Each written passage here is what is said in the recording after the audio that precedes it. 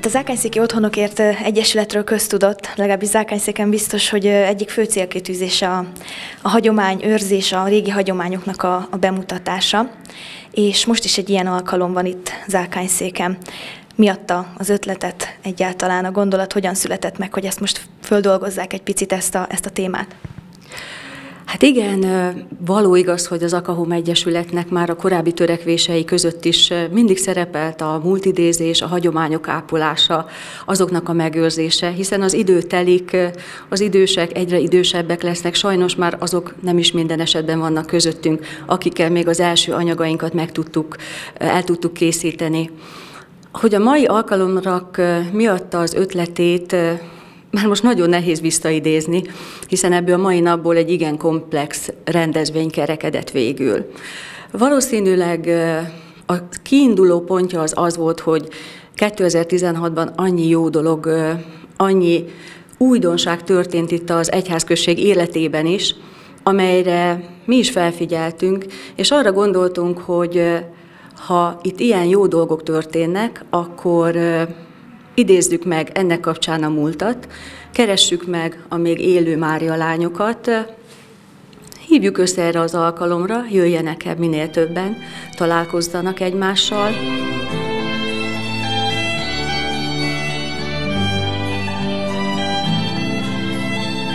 Hát mikor volt ön fehér lány, Máriás lány itt Zákányszéken, és hogyan, hogyan jött ez az életébe? 54-től még férjhez nem mentem, az pedig 62-ben volt. Hát, hogy hogyan ö, kerültünk ide? Hát ott voltunk barátnők, többen is már előtte voltak ők is itt, és akkor így megbeszéltük, összebeszéltünk, és így azt jártunk erre a találkozókra. Nagyon szerettünk gyűnni mindig. Itt volt a főutcán egy Gárgyán Piroska, Annik, akinél volt a ruháink mindig, és ott öltözködtünk mindig négyen, Makra Rózsika, Makra Piroska, Lázár Mariska, meg én így négyen együtt tartottunk, és akkor mindig ott főztünk, szerettünk gyűnni mindig. És most hogy, hogy fogadta ezt a meghívást? Nagy örömmel. Igen, lett volna más programom, de azt mondtam, hogy az lehetetlen ezt a dolgot kihagyni. Ez nekem annyira, mondom, az életben ilyen már nekünk, a mi részünkre nem lesz, és akkor nagyon, nagyon örültem neki. És hogyan lett ön fehér lány, Máriás lány? Első áldozókorba, utána végig még férhez nem mentem. Akkor ez akkor ilyen természetes volt, hogy minden... Igen, hát nem, mert nem mindenki volt fehér lány. És hogyan emlékszik vissza erre az időszakra? mi, mi volt akkor a feladata egy fehér lánynak? Nagyon szép volt, hát ott álltunk a szentélybe fönt, és akkor imádkoztunk. Meg mikor búcsú volt, meg körmenet, akkor vittük a szüzanyát. Már mikor nagyobbak voltunk. és most? Most hogyan emlékszik vissza erre, hogy most itt gondolom találkozik olyanokkal, akiket esetleg régebben? Ah, igen, igen, nagyon régen, tényleg vannak ilyenek, de hát jó ez, mert így legalább lássuk egymást. Hát mikor az iskolában első áldozó voltam, és akkor utána lehettünk Máriás lányok, azt utána voltunk minden hónap első vasárnapján, meg esküvőkor, meg búcsúkor, meg így. Azt meg körmenetkor ott voltunk, ha esküvő volt, akkor szintén azt, azt így. Mit jelentett ez önnek akkor, mint, mint fiatal lány, hogy, hogy ezekben a dolgokban részt vehet, vagy részt vesz? Hát én nem tudom, mert anyukám is az volt valamikor. És olyan, olyan nem az, hogy kötelességnek tartottam, csak olyan jó érzés volt ott lenni köztük.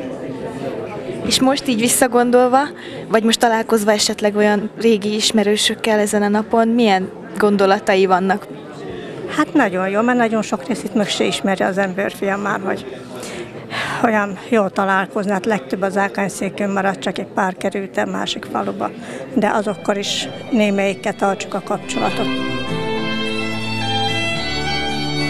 Mennyire fontos a te életedben az, hogy az egyházközségnek a, a rendezvényein mondjuk részt vegyél, például egy ilyen eseményen is? Kiskorom óta már ministrálok, és kaptam egyszer egy olyan felkérést, hogy ebből Máriás lányos ö, dologban részt lehetne venni, és akkor úgy voltam vele, hogy akkor érek ezzel a lehetőséggel, és kipróbálom, és azóta, egy olyan két hónapja csinálom ezt.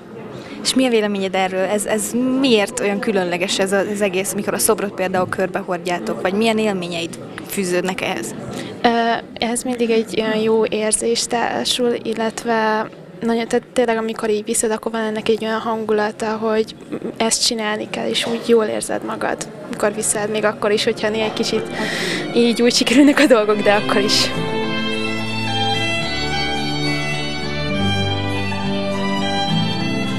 Dr. Jane Zoltán atyát megkértük, hogy a Mária lányokért mondjon egy esti misét, Utána a filmanyagok azok jó részt adottak voltak már a, a gyűjteményünkben, ezeket kellett most e téma köré összerendezni, ebből összeállt egy közel 60 perces filmanyag.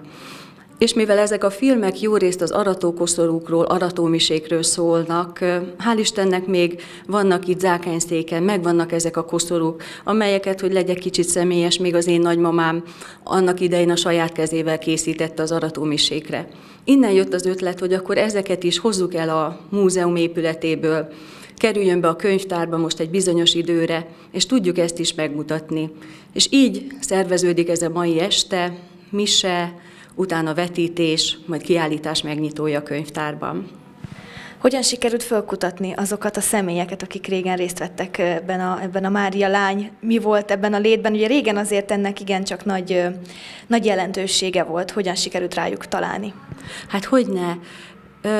Itt szintén a személyesség is szóba jön, hiszen az én nagymamám Szabó Antalné, Dicső Etel néni, így ismerték itt nagyon sokan Zákányszéken.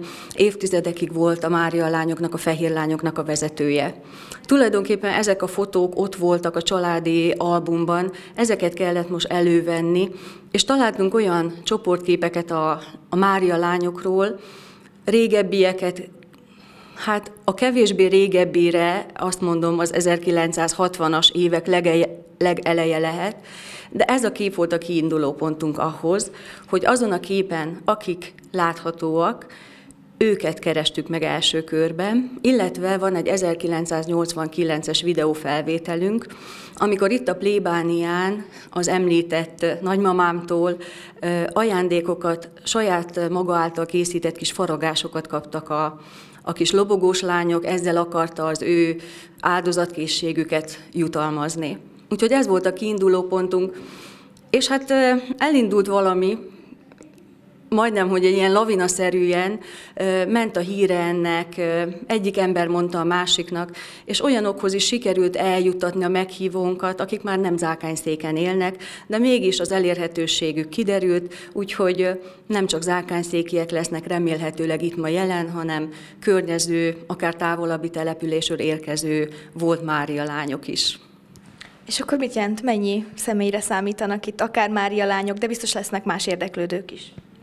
Bízunk benne, hogy lesznek más érdeklődők is, hiszen azért kihasználtuk mi is a médiát, a mai kor lehetőségeit, és már kis képkockákat, ízelítőket már felvillantottunk ezekről a, ezekből a régi felvételekből adja magát, hogy aki itt felismerte, akár saját magát, akár valaki hozzátartozóját, kíváncsi lesz erre a filmre, és emiatt fog eljönni.